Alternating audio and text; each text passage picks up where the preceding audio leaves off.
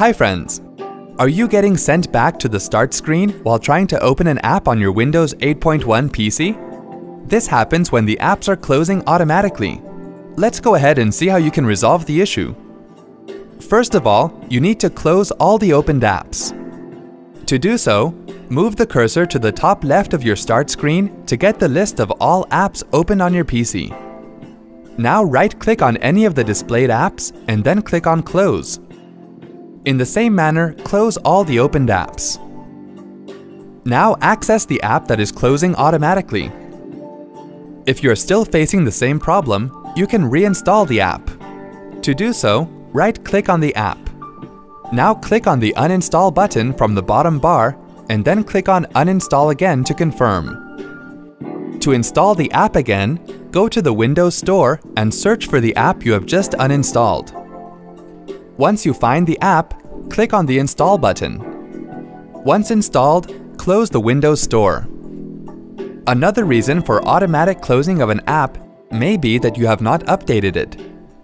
On the Windows Store tile, you will see a number which indicates the number of apps that are to be updated. To update the apps, open Windows Store. Access the Charms menu and then click on the Settings charm. Click on App Updates and then sign in to Windows Store. Turn on the automatic updates if it's off. Click on the Check for Updates button. Here, make sure that you have selected all apps. Click on the Install button from the bottom bar to install the updates. Now, updates for all the apps on your PC will install automatically. Once all the app updates are installed, you can again access the app which was closing automatically and check if the issue is resolved or not.